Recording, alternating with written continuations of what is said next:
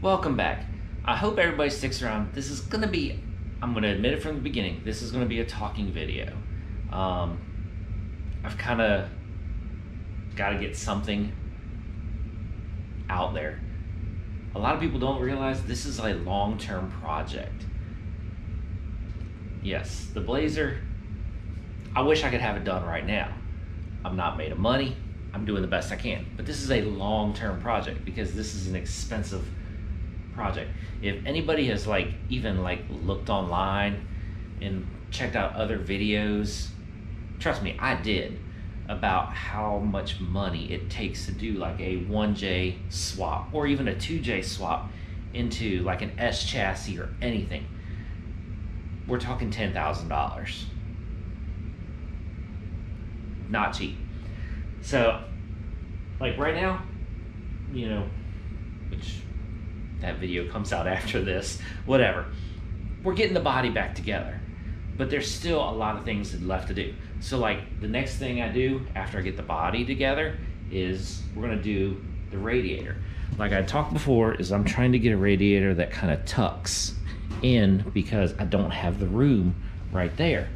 So I've already, you know, basically it's Google searching and this and that to find a radiator that will sit up here instead of back here, and it'll give me the fan, you know, room back here for like Mishimoto fans. So I have found the radiator I'm going to run, and the radiator is out of a Jeep Comanche, the four liter. So this is a 2.5. It's a four liter. It'll handle it.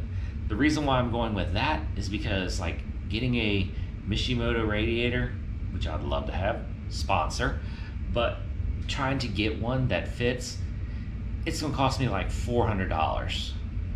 It's just an unnecessary amount of money for me right now into this. So I can get an all aluminum custom Jeep Comanche radiator with fan shroud with two BS fans on it, which I will switch to Mishimoto. For a hundred, just for the fan, you know, the fans are gonna cost extra, of course, but all aluminum radiator and shroud and the two BS fans, which I'm just going to keep as backup, is 170 bucks. Fits perfect. Um, that's going to be the first thing. So I get that in, kind of get that mocked up because I have to figure out where that's going to lay. Then the next thing will be is getting the intercooler set up for this. Now, being the only Blazer that's JZ swapped out there, this isn't something that like oh I can like oh let me Google and find out what they use and this and that. So basically, we're gonna make things. We have to make it. So you know of course so like let's just get up here. So intercooler will go here. Then we're gonna have to cut right through here somewhere. Radiator will be here, so we'll probably put piping to come in through right in this area and then up and in. Yeah, it's gonna be tight right here.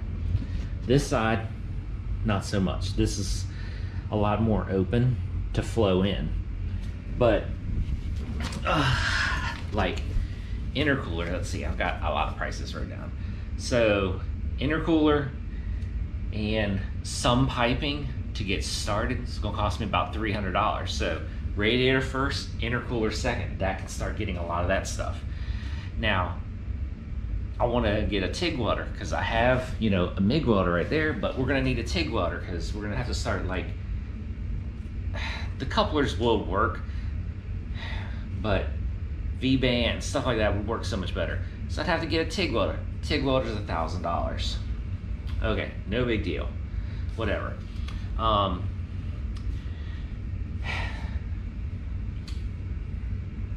I don't even have a transmission for this. So, you know, a Collins adapter, they're like 400 and some change.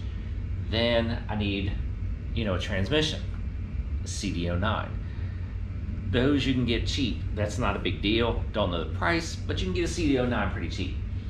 But still, you know, we're talking transmission, everything together to make the stick shift package work. It's going to run about a thousand dollars. Still not that bad though. Um,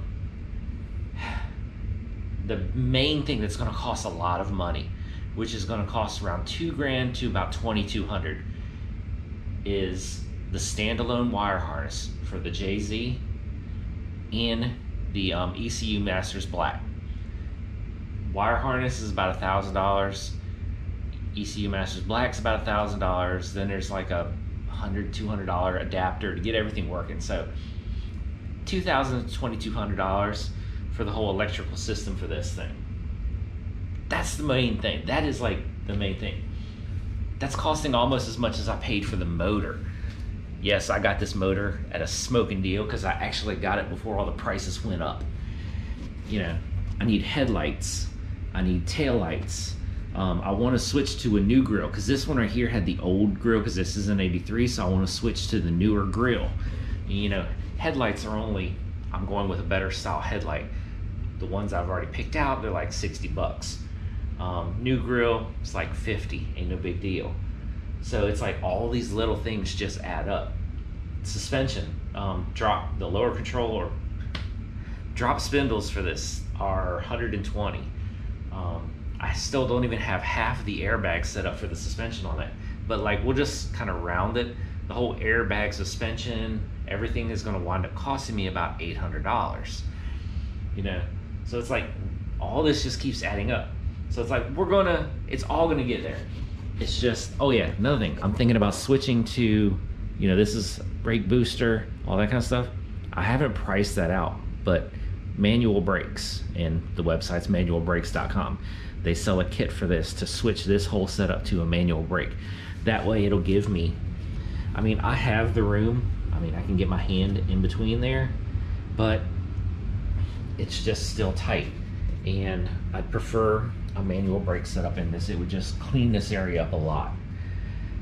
Oh, racing seats, don't have that. There's a whole bunch of stuff. I mean, there's still a lot of stuff to go. Um, I well, the ugly paint job on this thing. I mean, look at that. That is ugliest blue in the world. But uh, let's see. Is there anything else on my list here? Grill, headlights, tail. Oh yeah. So this thing has a roll pan on it.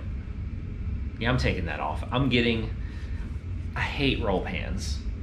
I love bumpers. I know it's weird, but this thing has a roll pan. I never fully welded it on, so we're gonna yank it off and we're gonna get a bumper put back on this thing because I love bumpers. So I think a whole bumper system for this because you got to buy the brackets, all that. It's gonna cost me about a hundred bucks.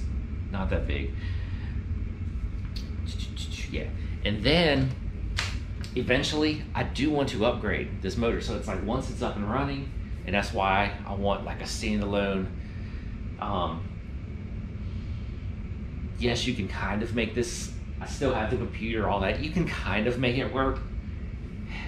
There's things to make it make it happen, but this motor is not going to stay stock. So it's going to get you know BC coil, B, BC coils, BC cams in it. I'm going to go to the upgraded, of course, after it runs and all that kind of stuff. We're going to switch the turbo out to a um, the Tomei turbo, a couple other Tomei parts on this thing to make it a little more power. Um, I am trying to break 500 on this. Think it's easily doable.